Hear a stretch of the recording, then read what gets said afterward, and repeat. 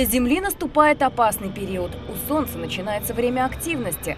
Вот так выглядит звезда сегодня. Пятен немного, но это пока. Солнечные циклы устроены так, что активность солнечная спадает медленно, а растет быстро. Обычно фаза роста солнечной активности занимает 3-4 года. И мы вот от минимума солнечной активности формального уже ушли почти на 2 года. Поэтому в течение года-полутора, может быть двух, мы достигнем максимума. Солнце, хотя и светит постоянно уже на протяжении 5 миллиардов лет ежесекундно выделяет равное количество энергии, живет по своим законам, 11-летними циклами. Оно то спит, ученые называют это периодом солнечного минимума, то бодрствует, солнечный максимум. В это время светило словно кипит. Мощнейшие вспышки и взрывы, которые для нашей Земли не проходят бесследно. Когда на Солнце происходят такие события, заряженные частицы приходят на Землю, они начинают воздействовать на магнитосферу, она, сопротивляясь, начинает меняться, и это приводит к сильным изменениям магнитного поля Земли, геомагнитного поля. И это нам дано в ощущениях под названием магнитная буря. Особенно остро влияние Солнца человек ощутил, когда начал осваивать космическое пространство. Ведь вспышка на Солнце может привести к сбою в работе спутника и даже изменить его орбиту. Так, в 89-м американцы из-за Солнца потеряли больше сотни космических аппаратов. В первую очередь страдают космические аппараты, потому что они не защищены. Мы тут с вами сейчас сидим, разговариваем, мы защищены атмосферой Земли, защищены магнитосферой Земли. Она, в частности, не пускает к нам, э, скажем, э, энергичное солнечное излучение. Даже когда есть ускоренные частицы на Солнце, они застревают вот в этой нашей защите. А до спутников это все доходит. Э, ну и вдобавок э, спутники имеют проблемы с торможением верхние слои атмосферы, те спутники, которые летают низко, достаточно низко. Э, и вот из-за этого часто теряется ориентация спутника, он тормозится и теряется его орбита, то есть спутник начинает непроизвольно снижаться, Таким образом, действительно были потеряны многие важные космические аппараты. Работа космонавтов в открытом космосе также зависит от Солнца. Если вспышки, выход запрещен. МКС, хотя и находится на высоте 300 километров над Землей, но атмосфера там уже не настолько хорошо защищает от потока заряженных частиц. Можно получить большую дозу облучения. В минувшие сутки магнитное поле Земли менялось от слабо возмущенного до возмущенного. Голос Ларисы Евгеньевны знают миллионы жителей московского региона. Центр прогнозов геомагнитной обстановки в Институте земного магнетизма открыли недавно. Сегодня информация о геомагнитной ситуации для жизни и работы на Земле так же необходима, как и в космосе. Например, вспышки на Солнце вносят свои коррективы в работу железнодорожников.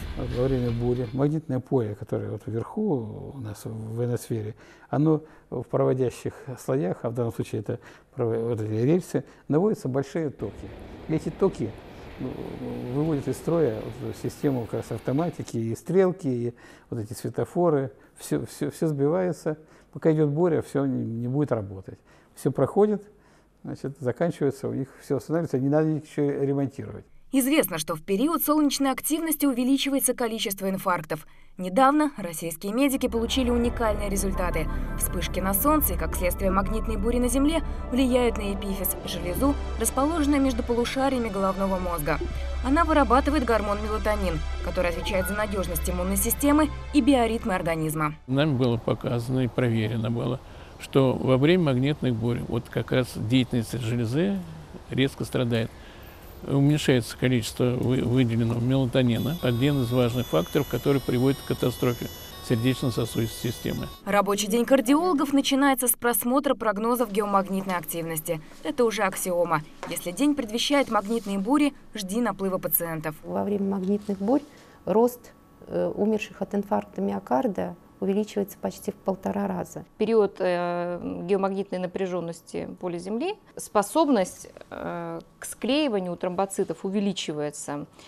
А, и в тех местах, где есть атеросклеротические бляшки, могут образовываться тромбы. Юрий Андреевич – пенсионер, а в прошлом техник-авиатор. Подготовка самолетов к вылету – огромная ответственность и напряжение. В итоге – в 2000-м инфаркт. Сердце дало сбой как раз в период магнитных бурь. С тех пор он солнечно зависим. Сердце реагирует на любую активность светила. Ну вот я смотрел по прогнозам примерно за день. Вот так вот. И еще дня два после этого. Потом как-то получше становится. Больше всего в период активного солнца страдают пожилые люди. С возрастом мелатонина вырабатывается меньше. Таким пациентам врачи рекомендуют восполнять нехватку мелатонина искусственно. Если давать мелатонин, то э, магнитная буря значительно легче переносится и вообще может не принести никакого вреда. Как пережить магнитные бури сердечникам, кардиологи выход нашли. Но вот как повлиять на историю – еще в начале прошлого века великий биофизик Александр Чижевский написал книгу «Физические факторы исторического процесса», где впервые указал на странную закономерность. Революции, войны, социальные потрясения приходятся как раз на период активного Солнца. 905 год максимум солнечной активности, 917 год максимум солнечной активности, 28 перед коллективизацией, значит, 29 года тоже максимум солнечной активности. И, наконец, события 91 года – которые особенно нас затронули, тоже максимум солнечной активности. Подобное совпадение есть и в истории погоды. Здесь цена деления 2 десятых, здесь большая точность. Наибольшая точность. За окошком у нас точность не важна, там через целый градус идет. Лето 2010-го преподнесло немало сюрпризов. Даже синоптики, которые привыкли к капризам погоды, говорят о нынешней аномалии. Наталья на Томской метеостанции работает не первый год. Каждый день она следит за давлением, влажностью, температурой. Жалуется, так и проходила все лето в куртке. Теплых дней было, по пальцам одной руки пересчитать. А скоро зима, которая тоже обещает быть суровой. Минусовая, так, 42, по-моему, или 43 градуса, что-то было у нас такое. Вот это, это я помню. Мы уже привыкли. Для сибиряков ничего не страшно. Холодное лето в Сибири 2010-го метеорологи связывают с антициклоном, который все лето не давал покоя центральной части России. Установился блокирующий антициклон на высоте, то есть потоки были с северо-запада. И к нам на нашу вот э, землю, скажем, Сибирь, приходили циклоны. Пока сибиряки замерзали, европейская часть страны изнывала от жары. Температура под 40 и пожары. Ни разу такого не было. Деревня так не горела. Горело здорово, конечно с той стороны вот так на эту сторону. И так все дома подряд. Прям вдоль асфальта шло. Тогда огонь в деревне Криуша Рязанской области за полчаса уничтожил 29 домов. Не пощадил ничего. Версии пожара погорельцы называют разные. Господь попускает стихиям разбушеваться. Естественно, они действуют так, что мы их не можем остановить. И это не просто так. Ну почему нет дождей-то? А почему нет дождей? А почему? Что я святой знаю, экстрасенс? То, что солнце в образовании климата на планете играет одну из главных ролей, очевидно. Смена времен года, климатические пояса. Но вот найти объяснение подобной нестабильности погоды пока ученые не могут. Есть лишь версии. Физик Ким Иванов связывает это с активностью Солнца. В эпоху вот минимума солнечной активности, когда космические лучи интенсивны, циклоны которые образуются где-то в Северной Атлантике, они отклоняются более на север, они более холодный воздух гонят на европейскую часть. А когда а, магнитная буря, траектория вот этих циклонов становится более такой южной, более теплой.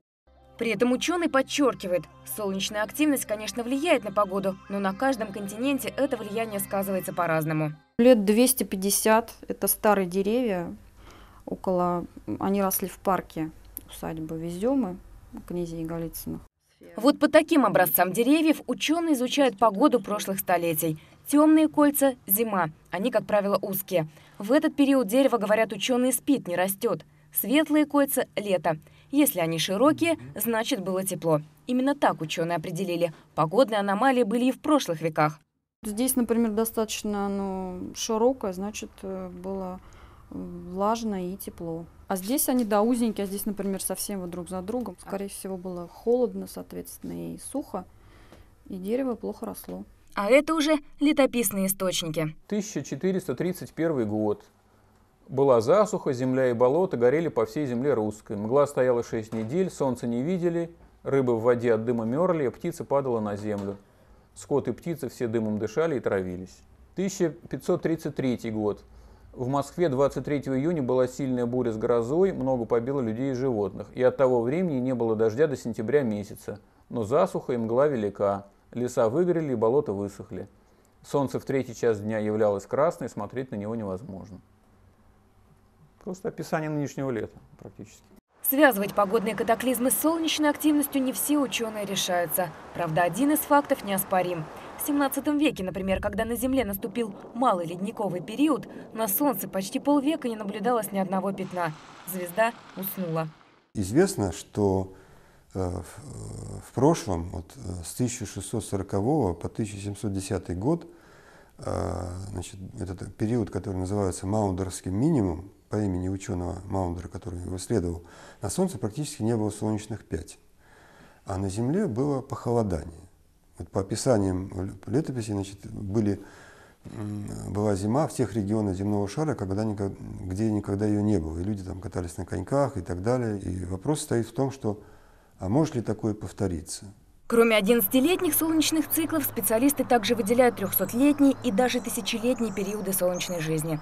Однако все эти процессы еще мало изучены, ведь даже спрогнозировать на ближайшие месяцы активность Солнца не так-то и просто. Э, солнце – это источник жизни на Земле. Поэтому, конечно, все, что есть, определяется Солнцем. Но это и как хорошее, и как плохое. Потому что Солнце, в общем, объект серьезный, Э, надо сказать, непредсказуемый и суровый.